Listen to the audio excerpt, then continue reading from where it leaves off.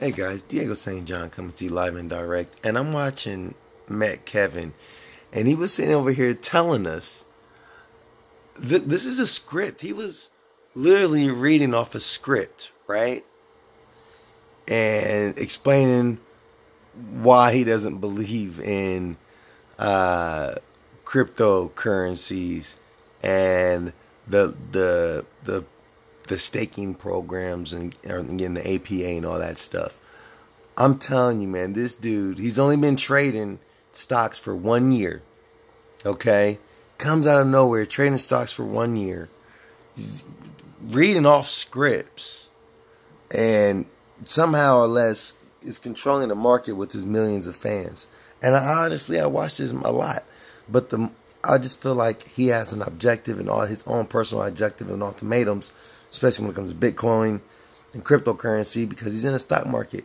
And this is going to kill his portfolio. And he doesn't want that. So you have him talking, and then you also have uh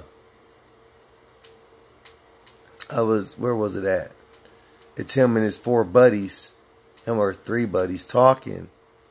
Um and it's showing that's so crazy. Now I can't find it, and it was literally just on here. Wait, where did where did where did the Meet Kevin even go? It's not even Meet Kevin. It's not that. That's so crazy. So,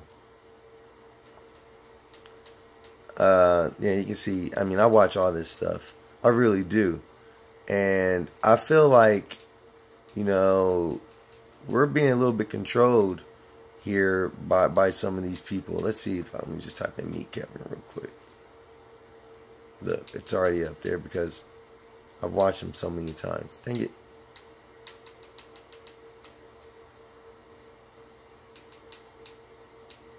Okay. So uh where is it at?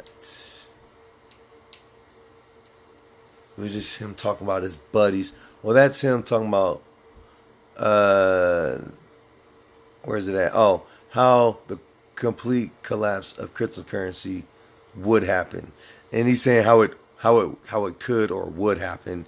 And he's explaining talking about uh, these lending programs. He's mad because he's invested millions in a Bitcoin and all these lending programs are just going to keep pushing cryptocurrencies uh, like like CRO and Binance and all these other ones who are allowing all this lending, and and they're it's gonna it's gonna bring Bitcoin down and the other ones up, okay, and that's what's gonna kill his his portfolio and, his, and the stock market is definitely gonna go down, and this is gonna hurt him a lot.